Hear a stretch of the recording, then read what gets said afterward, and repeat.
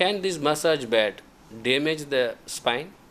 No, it can't damage the spine at all because the client is laying on the bed and the rollers are rolling on the side of the spine along the erector spinal muscles of the spine, both in the cervical, thoracic, and lumbar areas. And it's only the weight of the client that's putting the pressure on the wheels that are going up and down the spine very carefully, very gently, and very pain free.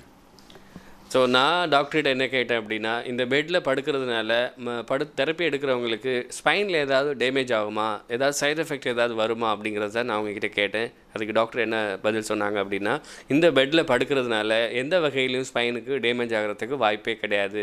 ஏன் அப்படின்னா கழுத்தில் இருக்கக்கூடிய இடுப்பில் இருக்கக்கூடிய roller வந்து அவங்க படுத்திருக்கிறவங்களோட உடல் எடை தான் அதை அழுத்ததே தவிர மிஷின் எந்த வகையிலையும் அழுத்தம் கொடுக்கல. எக்ஸ்டர்னல் அழுத்தம் எதுவும் கொடுக்கல.